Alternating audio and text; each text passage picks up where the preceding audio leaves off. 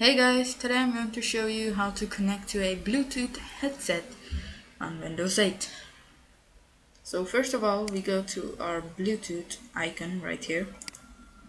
Right click and select add a Bluetooth device. Let's go. It's gonna search. And it found my headset, so I'm gonna pair with that.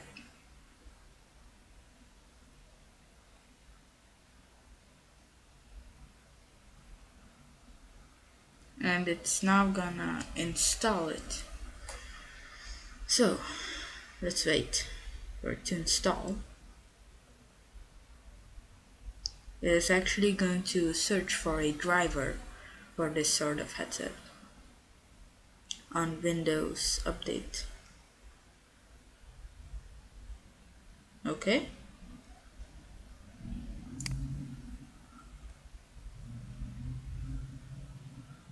and it's it's kind of found it I guess.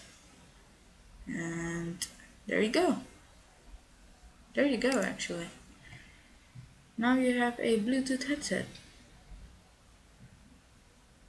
So here you see it's connected to a Bluetooth device.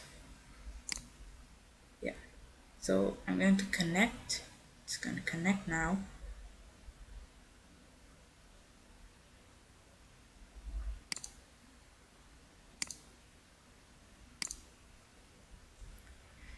Well, for the sound to work, we're gonna go to playback devices. And yeah, here we go. It is already connected, so there you go. And thank you for watching. And uh, see you next time.